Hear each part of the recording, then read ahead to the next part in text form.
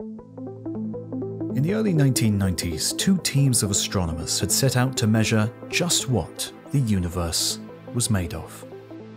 These two teams, known as the High Z Supernova Search Team and the Supernova Cosmology Project, brought together astronomers from around the globe with the goal of charting cosmic expansion over the life of the universe. The astronomers expected the presence of all the matter and radiation in the universe to act like a drag on the expansion, steadily slowing it as the cosmos aged. By measuring this deceleration, all the matter and energy that make up the universe would be revealed. These international collaborations called on the world's mightiest telescopes, such as the 8 meter Keck telescope in Hawaii and orbiting Hubble Space Telescope, to scour the sky. Their target was supernovae, acting as beacons of the distant cosmos, whose brightness as measured through our telescopes revealed how the universe had expanded as their light travelled for billions of years. But the astronomers were in for a shock. Our universe is not slowing down. It is speeding up. After repeatedly searching for flaws in their observations and checking their calculations, they presented their conclusions to a startled world. And to account for this accelerated expansion, there was something else in the universe, something unexpected, driving the cosmos faster and faster and whilst there must be immense quantities of this stuff for the effect to take place, it remained and remains totally invisible to our telescopes. Whatever is out there, between the stars and galaxies accelerating the expansion, it is truly dark. This result netted the leaders of the experiment, Brian Schmidt, Saul Perlmutter, and Adam Riess, the 2011 Nobel Prize in Physics and this discovery of dark energy came at the end of a tumultuous century. Astronomers had discovered that our Sun was an ordinary star in an ordinary galaxy, nowhere in particular in an expanding universe. More shocking was the revelation that, in terms of matter, all the atoms in all the stars in all the galaxies are little more than cosmic bit players all the matter we can see appeared to be dwarfed by huge quantities of unseen matter, revealed only by its gravitational pull. And as 1998 dawned, we realised that even this dark matter was significantly outweighed by the presence of the newly discovered dark energy. Two vast components of the cosmos, unseeable, and for millennia, undetectable. It is currently the biggest question in cosmology. What are these new components of our universe? How do they work? And where did they come from?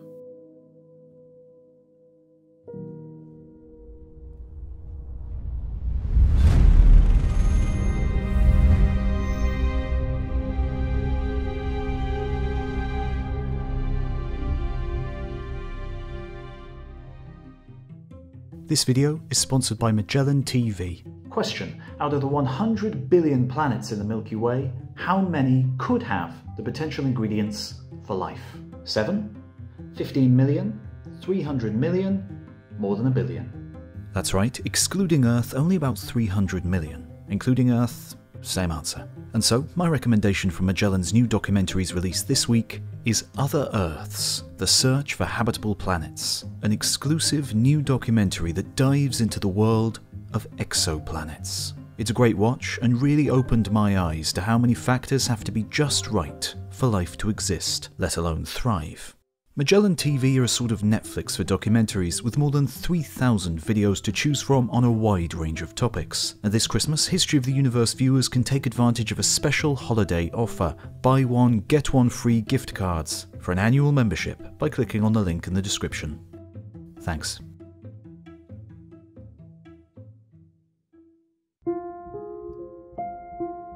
On the 29th of May 1919, a total eclipse of the Sun passed over the southern Atlantic. Two expeditions headed by British astronomers Arthur Eddington and Frank Dyson set off to observe this phenomenon. One team headed to Brazil, the other to West Africa. The expeditions were beset by problems, from faulty instruments to weather that refused to cooperate. On the island of Principe, off the coast of Africa, the eclipse was due at 2 in the afternoon. But throughout the morning, Eddington had sat in the pouring rain, the sun not peeking from behind the grey until half an hour before the eclipse. Clouds continued to cross the sky even as it darkened. Eddington busied himself changing photographic plates in the telescope, only glancing momentarily at one of nature's most spectacular sights. Would the observation be a lost cause? Would all this effort be a waste of time? A few days later, Eddington had his answer. And our picture of the universe changed forever. The headline in the New York Times proclaimed lights all askew in the heavens, and the little known Albert Einstein became the most famous scientist in the world. Four years earlier, during the turbulent years of the First World War, Einstein had published his general theory of relativity. The culmination of a decade's hard work, relativity gave us a new picture of gravity, replacing Newton's forces with malleable space time. During the war years, relativity was an academic curiosity, but with peace restored, scientists had set out to test the predictions of this new scientific theory.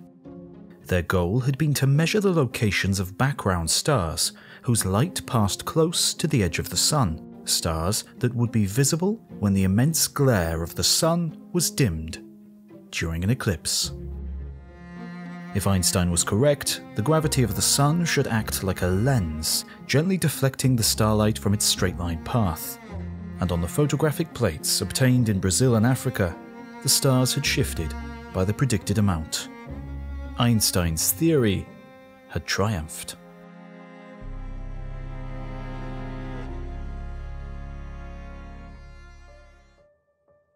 Whilst the result made him a star, Einstein thought that this gravitational lensing had little practical consequence. Stars were simply not massive enough to use as natural telescopes to magnify the distant universe. Nothing could be. There was nothing in the universe with enough mass to have such an effect. Or at least, as far as he knew. In the 1930s, astronomer Fritz Zwicky was working at the California Institute of Technology. Zwicky was a brilliant scientist with a prickly personality. Combining geometry and profanity, he referred to his enemies as spherical bastards, implying they were a bastard no matter which way you looked at them. But as an original thinker, Zwicky's mind roamed through the mysteries of the universe. He coined the word supernova to describe immense stellar explosions, and realized a superdense remnant known as a neutron star would be left in the ashes. And in 1933, Fritz Zwicky was focusing on the Coma cluster. Located 300 million light years away, Coma is immense and home to thousands of individual galaxies. This was barely a decade after the realization that the Milky Way was not alone in the universe, and numerous other galaxies exist, scattered throughout the cosmos. Zwicky reasoned that the individual galaxies in coma were held in their orbits by the gravitational pull of all the other galaxies around it. He realized that by measuring the galactic speeds, he could determine just how much mass was in the coma cluster, providing a new way of weighing the galaxies. But instead, what Zwicky found was a big problem the galaxies in the Coma cluster were moving far too fast. With only the gravitational effect of the galaxies in play, each galaxy in Coma should have been travelling sedately in its orbit. With immense speeds of almost a thousand kilometers per second, Coma should have been tearing itself apart. It was clear significantly more gravity was needed to hold Coma together. What was the source of this extra gravity. With nothing obvious, Zwicky concluded that there must be dunkel materie, dark matter, gravitationally binding the coma cluster.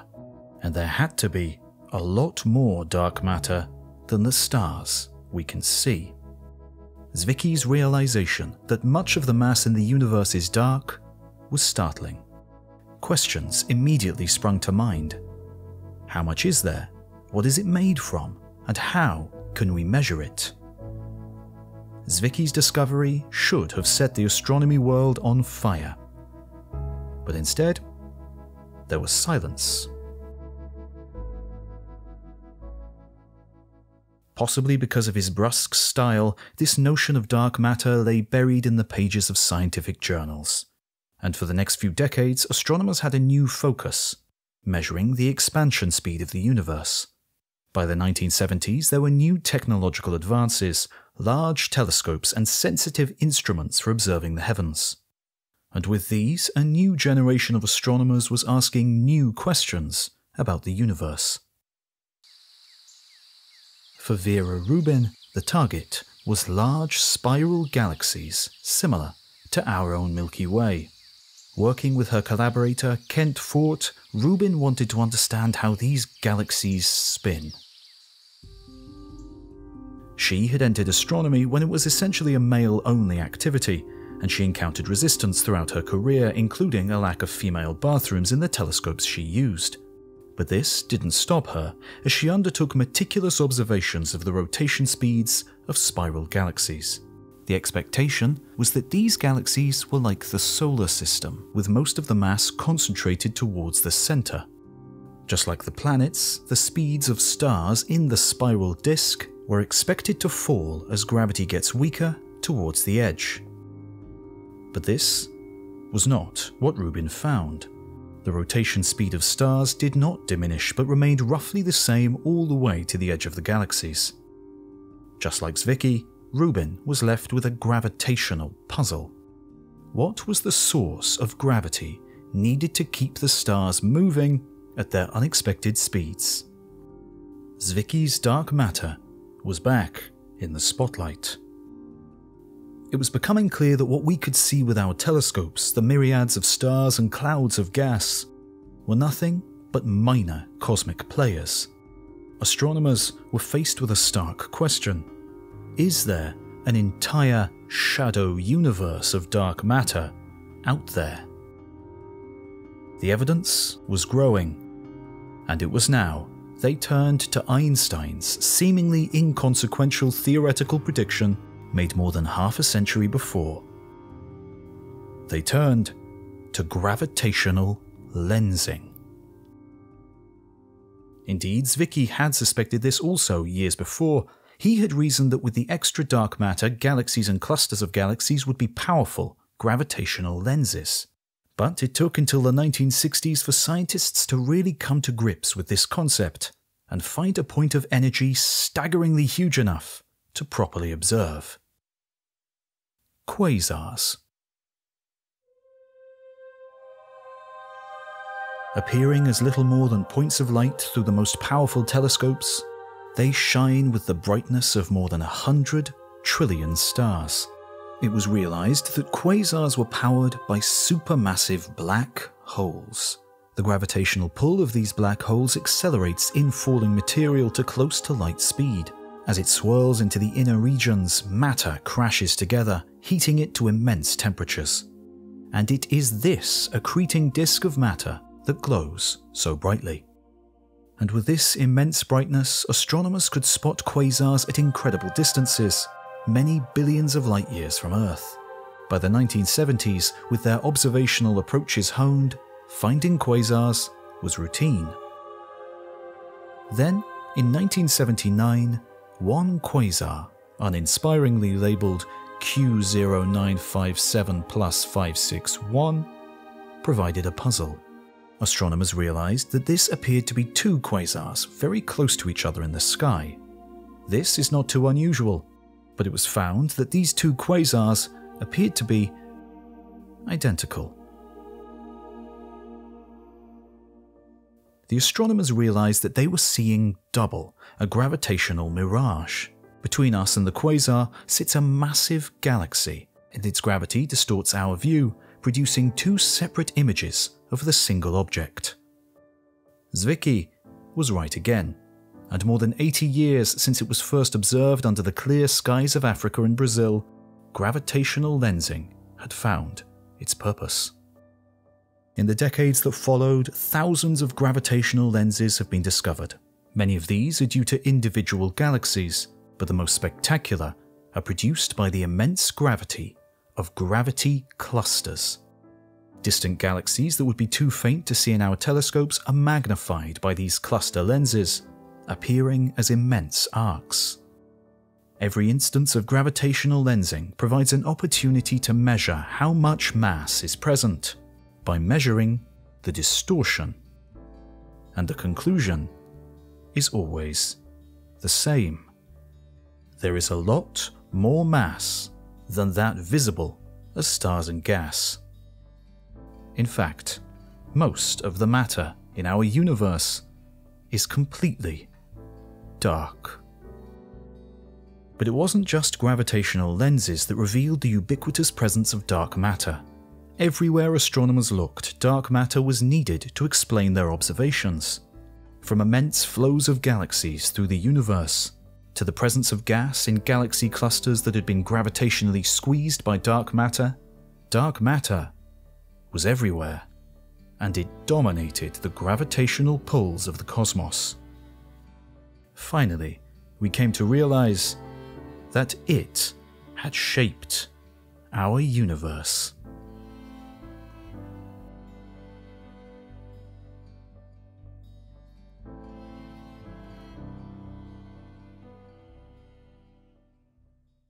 Looking up at the night sky, the black is filled with stars. Some form patterns. For millennia, humanity has interpreted shapes from these arrangements, creating meaning from their placement. From the ancient Egyptians to the Inca, these constellations have captured our imaginations. But behind these simple patterns lurk complex, incomprehensibly huge clusters. Many billions of light years away, many billions of light years across, with many billions of stars and galaxies within them. The Great Wall, the Giant Arc, and indeed, where we live, Laniakea. And so, it was in the 1970s that astronomers started to chart the locations of galaxies. They began to create an atlas of the universe. The idea was simple. A measurement of cosmic speed due to the expansion of the universe reveals a galaxy's distance. But this meant collecting and analysing the light from many individual galaxies, a laborious task. Dedicated programs were established to measure galaxy light, with one of the first being the CFA Redshift Survey, based at Harvard's University Center for Astrophysics. And, as measurements were gathered, the structure of the universe was revealed. It was clear galaxies were part of a cosmic web with individual clusters linked with filaments. Embedded in this structure were huge empty regions, known as voids, giving the universe a sponge like appearance. By the mid 1990s, two astronomers, John Huchra and Margaret Geller, had analysed the light of 18,000 galaxies. They labelled immense structures such as the Great Wall and the Stickman, each composed of thousands. More modern surveys of galaxies, including the 2DF Galaxy Redshift Survey and Sloan Digital Sky Survey, have mapped more than a million, revealing clusters, filaments, and voids throughout the universe. But this raised a question. Where did all this cosmic structure come from? Astronomers knew that the fiery birth of the universe in the Big Bang left it featureless. The hydrogen and helium forged in the first few minutes was smoothly spread through the cosmos. But underlying this was dark matter.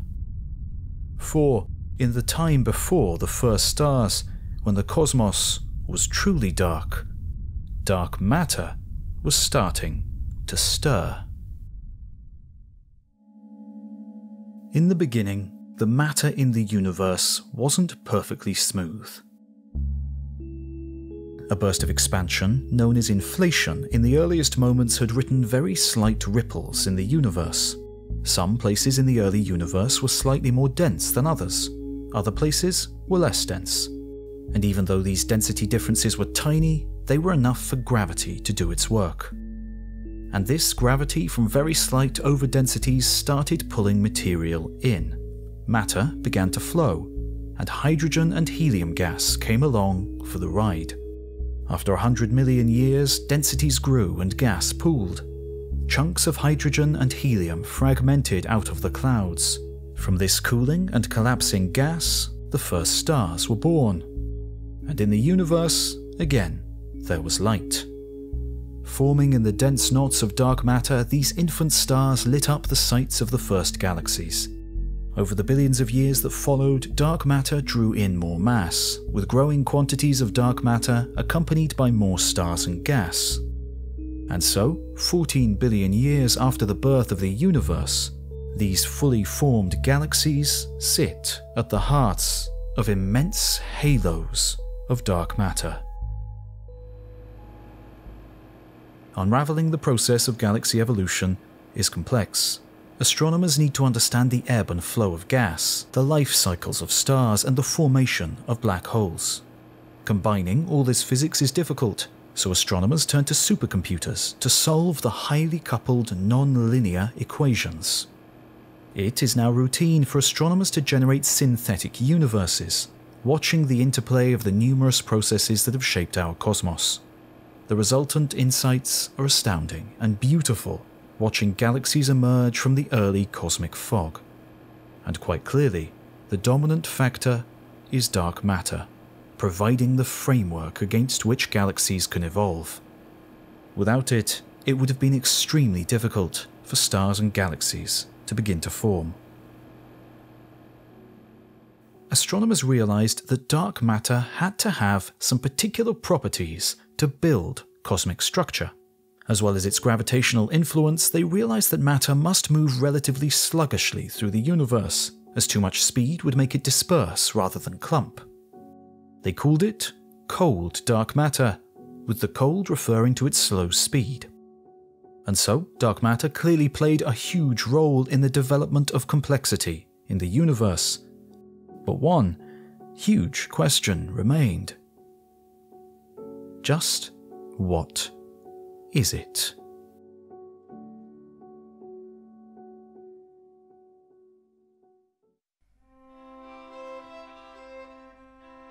In 1930, Wolfgang Pauli was faced with a problem. Radioactivity had been studied for several decades, but one kind of particle decay was behaving strangely. This beta decay appeared to be relatively simple, with an atomic nucleus spitting out an electron, or its antimatter cousin, the positron. But for a collection of identical atomic nuclei, the particles that got spat out had different properties. Some sped away at high speed, others moved more slowly. This meant that some had high energies, whilst others had lower energies. How could this be? The conservation of energy demanded that each of these ejected particles should have the same speed. Pauli wondered if the conservation of energy was being broken, a distressing conclusion he couldn't stomach. Instead, he suggested another thing is also spat out during beta decay, another particle that carried away the seemingly missing energy. Named the neutrino, this purely hypothetical particle had some peculiar properties. The fact that it did not collide with atoms told us it wasn't a photon, the particle of light. It was something else, something different. It wasn't until the 1950s that Pauli's hypothetical particle was finally detected in sensitive experiments set up next to nuclear reactors, a prestigious source of neutrinos. Astronomers realized that the universe was full of neutrinos, most produced in the frenetic nuclear reactions in the earliest epoch of the universe. Given that they barely interact with matter, it was suggested that these neutrinos could be the dark matter. But as experiments improved, it was realized that neutrinos are just too minuscule and too fast to account for dark matter's gravitational dominance. Physicists would have to continue the search. What else could be dark enough to be dark matter? What else could be massive enough?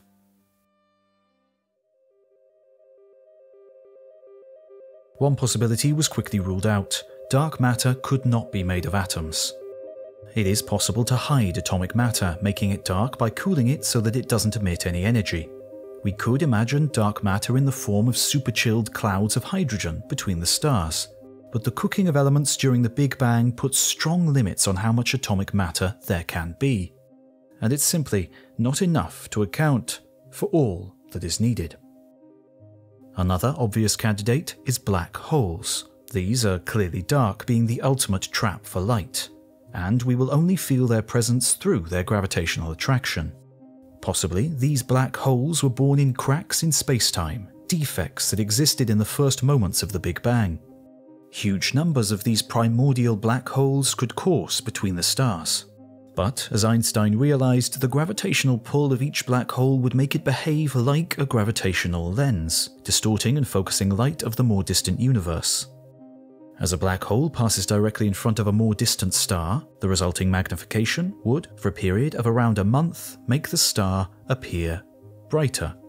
Even if all dark matter were in the form of black holes, the chances of such a passage is exceedingly small. However, in the 1990s, astronomers were searching for these rare brightening events.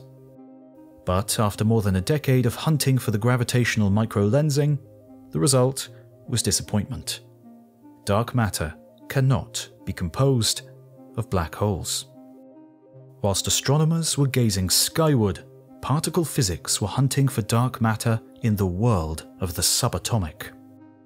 Through the course of the 20th century, they had unraveled the fundamental nature of matter, finding the particles from which mass and forces are constructed, comprised of quarks and leptons, photons and gluons, as well as the more esoteric W and Z bosons this zoo of particles was rounded off in 2012 with the discovery of the Higgs boson.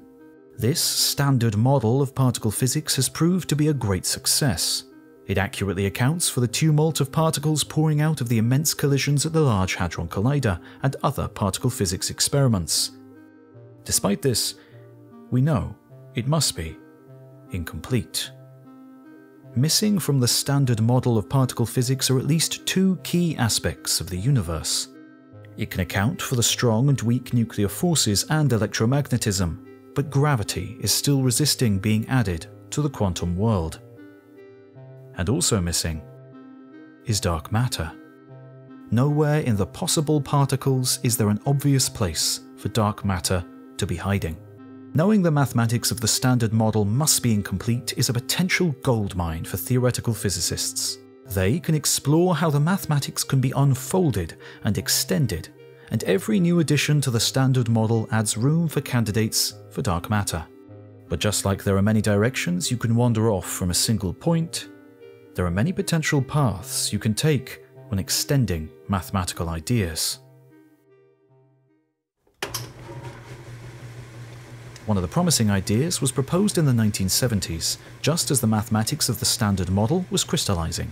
The key problem was the strong force, the force responsible for binding quarks into protons and neutrons, and gluing protons and neutrons together in atomic nuclei.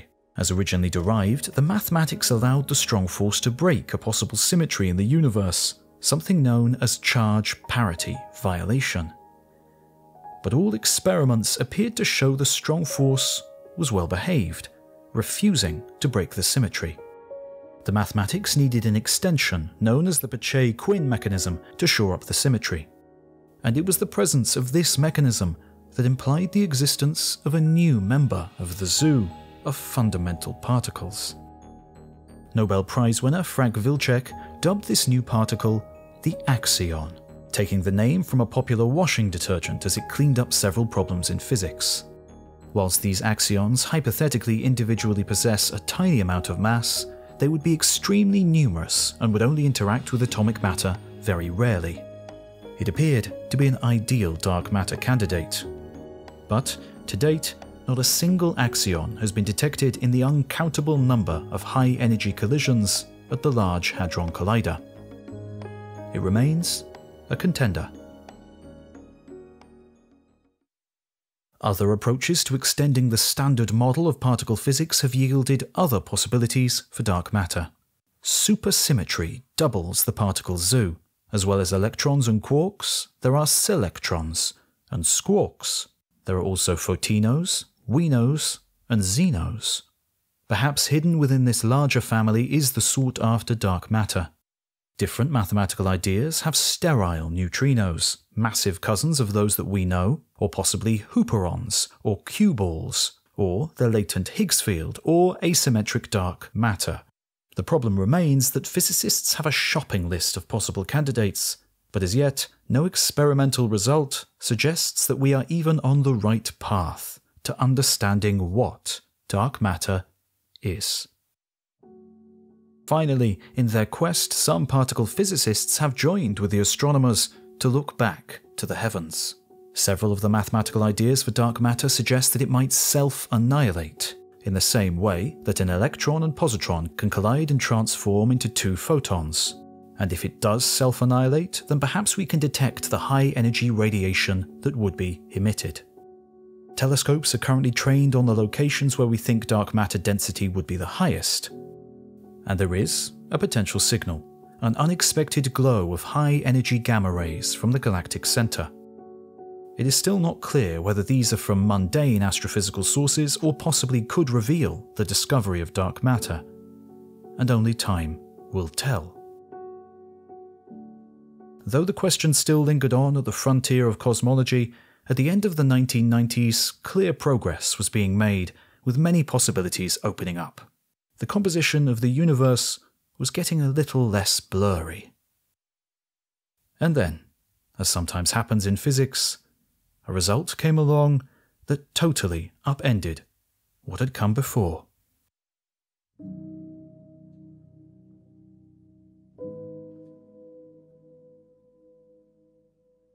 We opened this story with the discovery of the other dark component dark energy in the closing years of the 20th century. As the shock of this discovery subsided, questions began to grow. Just what was this new, dark, mysterious stuff of the universe? Whilst dark energy sat at the bleeding edge of modern physics, it was realized that its story was much older. And so, we return to Einstein.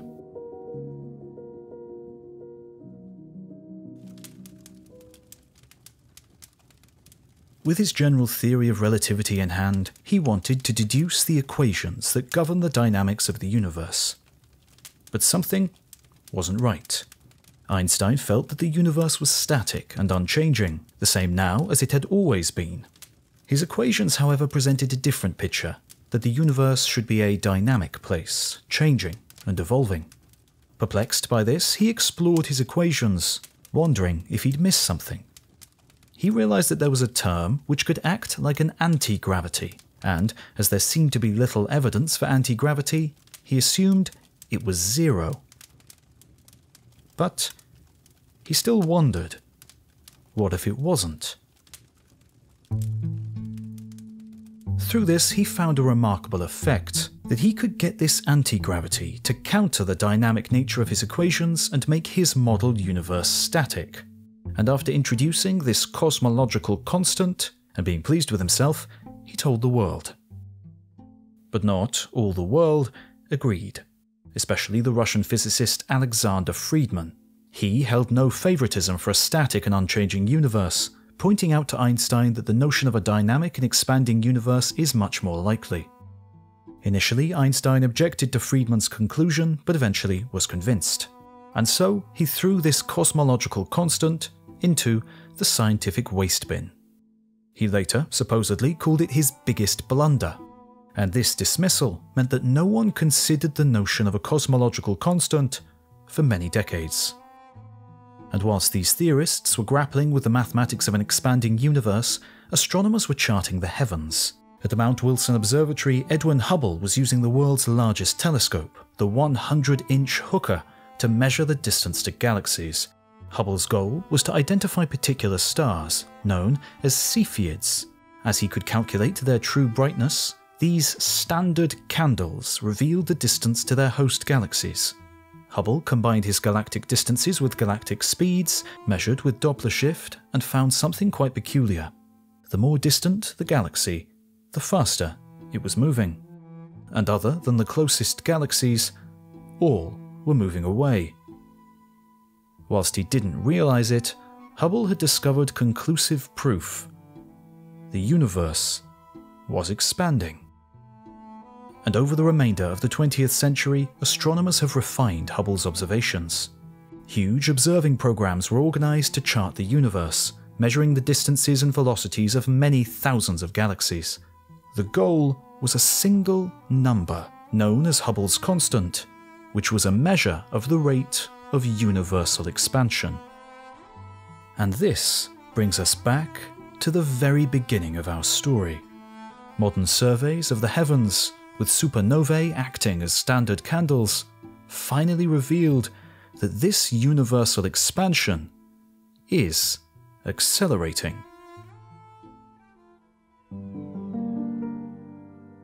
And so, again, we are left to ask the question what is the dark element of the cosmos causing this effect?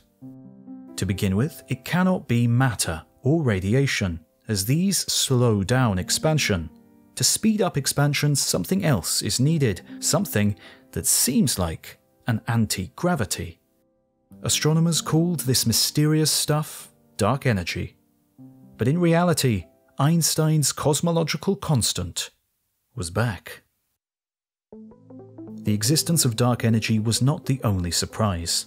When the cosmic accounting was completed, astronomers realized that all the atomic matter, the stars, the planets, the immense gas clouds in galaxies, comprised less than 5% of the universe.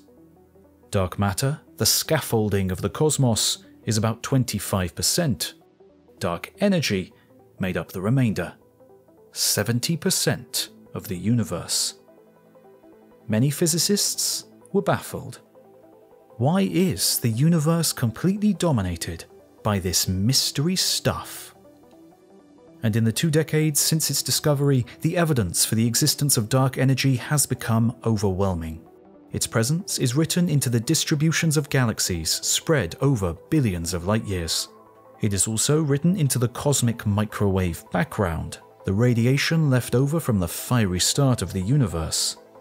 And it has seemingly bizarre properties. As the universe expands, matter and radiation thin out. Dark energy, however, appears to remain constant. This means that in the early universe, matter and radiation dominated, and the presence of dark energy had no impact. But about 5 billion years ago, the tables were turned.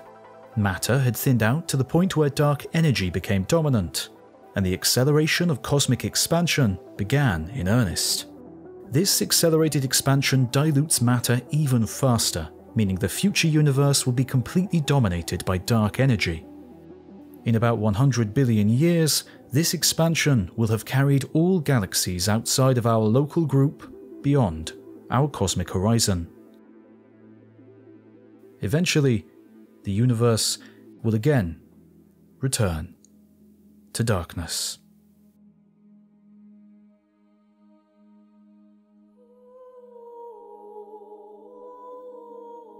In quantum mechanics, empty space is not truly empty. Heisenberg's uncertainty principle allows energy to fluctuate in and out of existence on tiny scales. This quantum nature of the vacuum provides empty space with a tension, a tension that can be measured in experiments.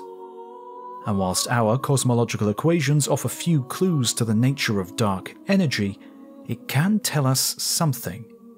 Unlike normal gas that possesses an outward, pushing pressure, dark energy has a tension that pulls. And there is one thing in nature that possesses this similar tension the quantum vacuum.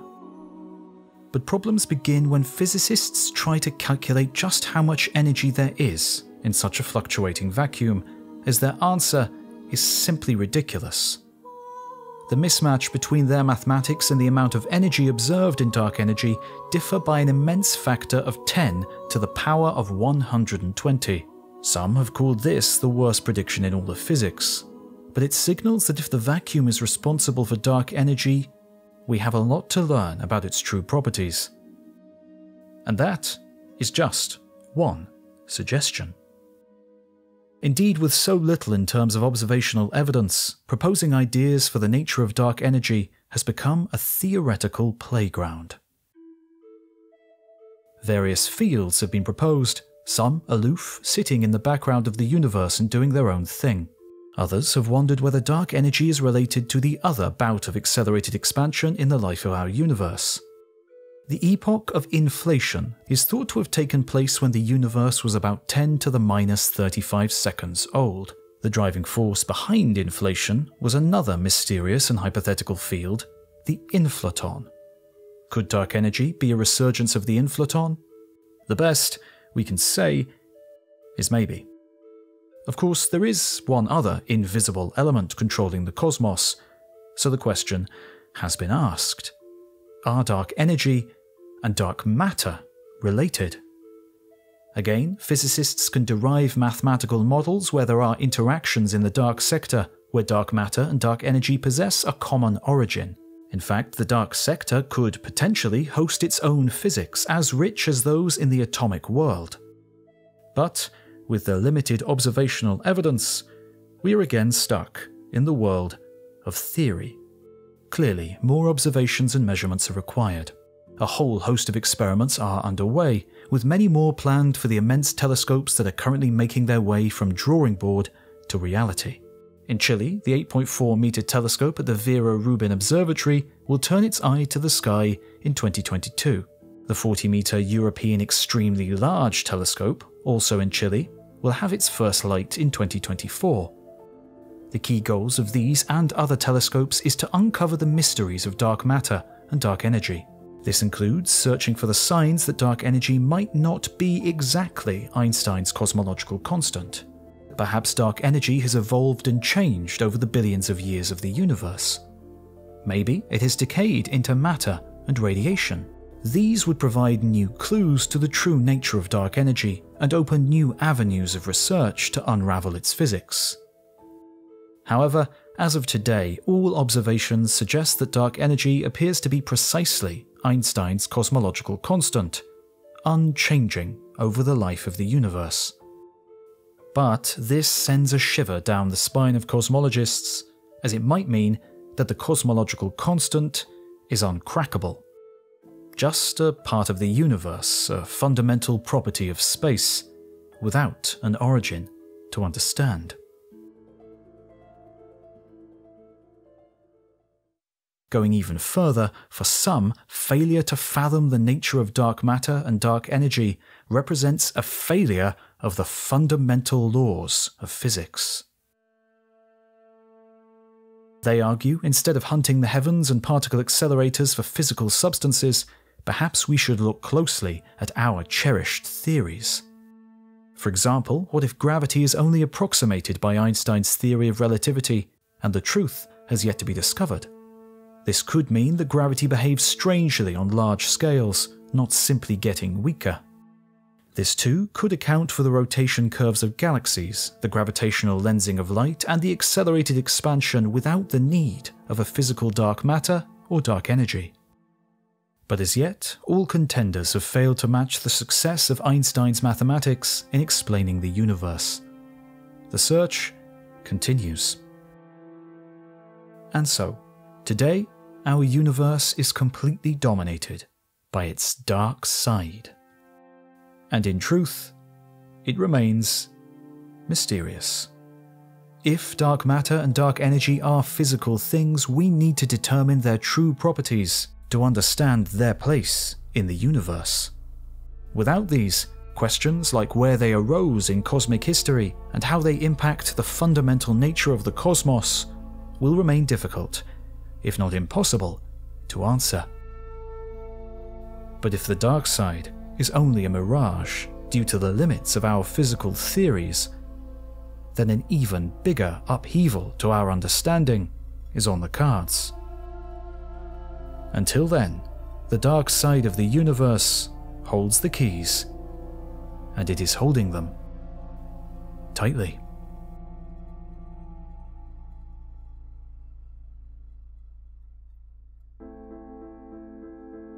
You've been watching the entire history of the universe. Don't forget to like and subscribe and leave a comment to tell us what you think. Thanks for watching, and we'll see you next time.